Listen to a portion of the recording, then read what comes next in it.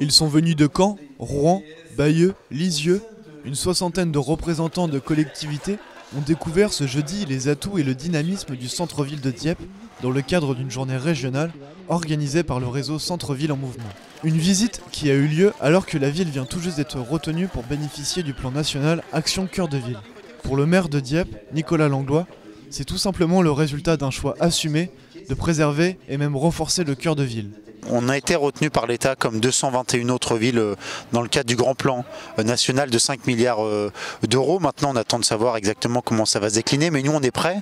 Et on a effectivement tout un tas de projets à faire valoir l'arrivée du cinéma et l'aménagement autour de la gare et le lien entre le cinéma, la gare et le cœur de ville historique. Dieppe Sud, sur lequel on travaille en faisant face au risque de submersion marine, mais qui sera une extension et un renforcement du cœur de ville et pas une mise en concurrence. Puis je pense aussi au projet d'aquarium, par exemple, qui va venir renforcer le cœur de ville parce que si on a entre 500 000 et 1 million de visiteurs par an, ça va être bon pour tout le monde, ça va être bon pour la ligne ferroviaire, pour notre gare, et ça va être bon pour le dynamisme de la ville et du front de mer également. C'est un lieu de vie, c'est un lieu où on, vient faire ses courses, c'est lieu où on arrive quand on arrive de la gare, puisqu'on est à deux pas de la gare, euh, et quand on vient visiter la ville. Et puis c'est un poumon économique aussi, parce que c'est plusieurs centaines d'emplois directs et indirects avec ses services publics, avec les commerces. Et puis c'est aussi un lieu de vie où les habitants habitent, puisqu'on a encore de nombreux habitants et des résidences principales, et ça on y tient en cœur de ville. Moi je trouve qu'en France, on a trop souvent tourné le dos au cœur de ville en développant par exemple des surfaces commerciales à l'extérieur. D'abord en rognant sur les, terres agricoles, en plus en désertant euh, les cœurs de ville, alors que les cœurs de ville, dans les villes moyennes, dans nos villes, ont un vrai rôle à jouer en termes d'aménagement du territoire et puis en termes de réponse aux besoins des habitants. Et puis moi, je pense que la ville durable est par avant tout des cœurs de ville, des centres-villes. C'est pour ça qu'à Dieppe depuis longtemps, et on va continuer, on va renforcer ça, on travaille sur cette question-là. Pour Pierre Creuset, directeur général de Centre-Ville en Mouvement, ce choix de Dieppe n'est pas anodin.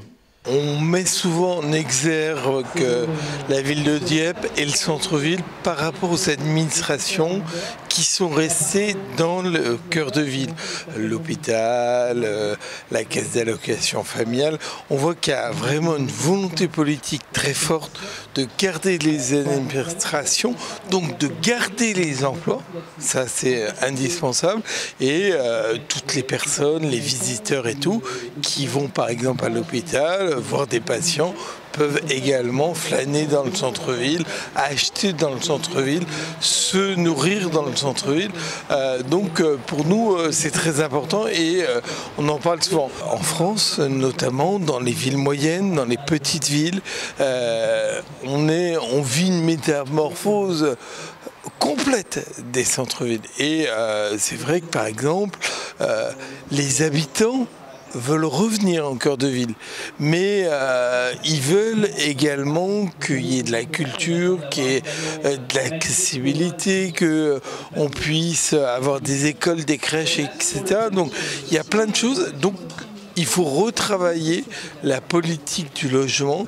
Aujourd'hui, il y a un retour très important en cœur de ville et, euh, et je pense que vous avez une longueur d'avance, Dieppe, Vraiment, il y a beaucoup de choses dans le centre-ville et euh, là, on, a, j'ai bon espoir. Euh, ça fait partie euh, de ces villes exemples.